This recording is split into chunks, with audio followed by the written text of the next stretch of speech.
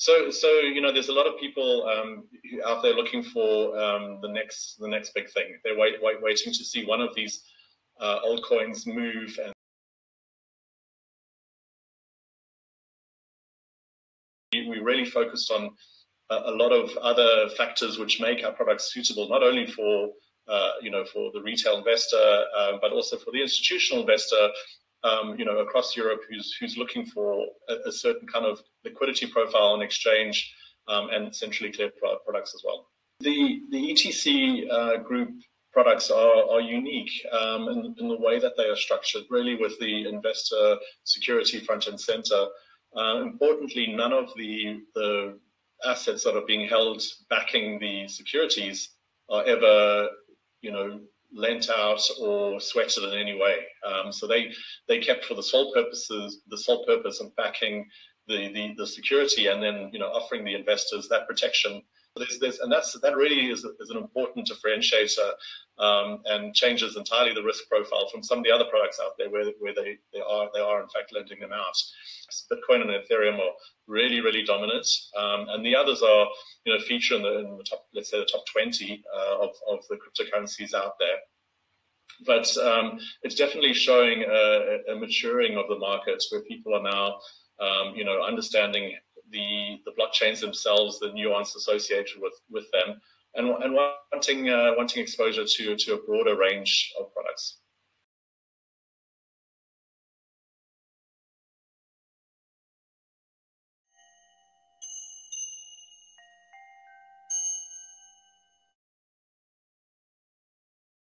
Hey, hey, everybody, it's Eri from Tokyo. This is your cryptocurrency update from Japan. And if you own any crypto assets that are in the top tier by market cap, this is a great video for you.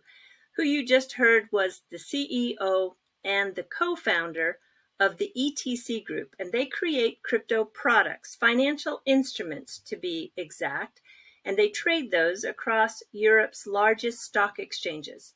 Currently, they are trading in seven exchanges.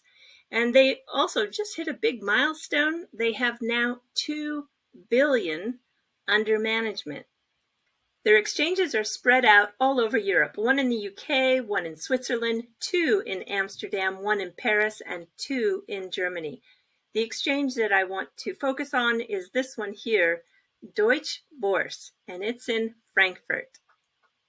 Three days ago, they launched GXRP, and like all their crypto products, 100% are backed with the physical digital asset. That's very important. You want to make an impact on the supply. Reducing supply makes for more demand. Those are the basic two ingredients for price movement. Now, let me just show you some of the other digital assets that they are focusing on in addition to XRP. XRP joins the company suite of ADA, Litecoin, DOT, Tezos, XLM, Uniswap, Polygon, Avalanche, Cosmos, Bitcoin, Bitcoin Cash, Solana, and Ethereum. So they custody the assets through a trustee. I did see that they use BitGo. And this way, people don't have to safeguard keys. They don't need to manage a wallet. It is a turnkey solution for those people who want that service. And yes, you are legally entitled to take custody if you wish at any time. This product is regulated under German law. As Bradley Duke said in the intro, as the market matures, there is a demand to have a broader exposure to digital assets, more than just BTC and Ethereum. And he also goes on to say in this press release that Ripple is rapidly becoming a leader in global payment systems with hundreds of financial institutions choosing Ripple to provide a better international payments experience for their customers in real time. By launching this latest ETC to our expanding portfolio of high quality, physically backed digital assets, we're continuing to grow our offering to investors, providing access to an increasingly wide range of digital currencies and assets, especially those amassing large market caps. The market leading success of our products has been driven by our partnerships with world class liquidity providers to deliver high liquidity and tight trading spreads. Now, I know this next portion of the video is going to be controversial, but I'm just delivering what we have in the key information document. These are performance scenarios, and I'm going to just give you the favorable scenario because you can imagine if it's not favorable, you've lost your money. But the favorable scenario with an investment of $10,000, there is an average yearly return that is calculated on one year, three years, and five years. In the one year, you can see that it has a 241% gain with a return of, uh, in US dollars here, 34,122. Your three year investment, if you wait that long, in a favorable scenario, is expected to return 73,468. So that has that annual average return of 94%. And for a five year hold, you are going to have a return on a favorable scenario according to their information document, a 63% annual average return or in US dollars, 116,420. I know probably many of you are thinking, wow, that's not the 589. Well, this is something that is being marketed in a conservative country to institutional investors and also uh, people who are not necessarily moonshots, right? so I, I, I, I'm, I'm just positive there's going to be lots of comments about this portion of the video. But um, yeah, it is what it is, and I wanted to share it with you. All right, everybody, we're jumping to the fluff, and we're going to talk about Rajio Taiso, or I would say literally translated to radio gymnastics. In all of the uh, schools and for most companies, the employees of the companies, and you'll even find many of the parks throughout the whole entire country.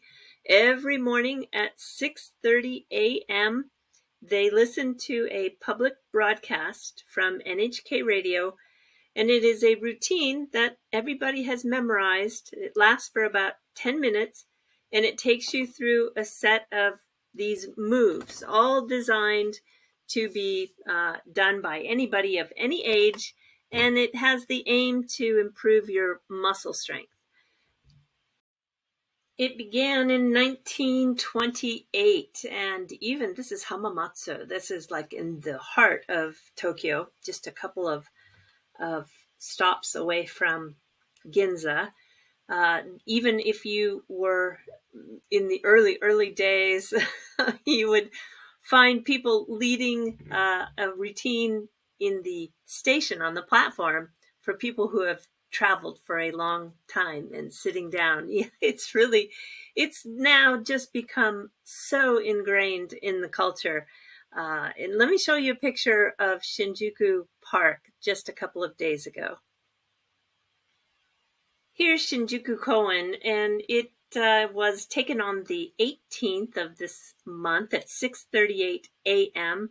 And I would say this is not a really busy example. Uh, when I have gone, it is probably uh, five times the amount of people in a space like this. But I don't know, it might be the time of year because every time I have gone, it's been, you know, during really great weather. And some people chit chat after it's done. Some people just make it a part of their morning routine and then they see some friendly faces. It really does also drive a sense of community for these neighborhoods throughout the country. I think it's really a wonderful idea. I would love to see countries all over the world uh, adopt something like this. So, uh, yeah, I I know that a lot of people um, in the week days are elderly, but the weekends are full of families. And I'm going to let the T Rexes uh, take the video out for you. This is uh, Rajio Taiso in Tottori just a couple of days ago. they had these T Rex races, and before the races began, everyone took part in Rajio Taiso. Yeah, what a wacky country this is you